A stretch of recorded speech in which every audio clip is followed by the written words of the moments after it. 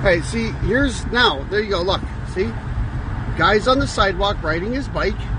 Okay, That's good. very good. Get on there. Stay off the goddamn street. Streets are for cars. If you can't go 60 or whatever the speed limit is, get on the sidewalk. There you go. Thank you very much. Someone used their their head.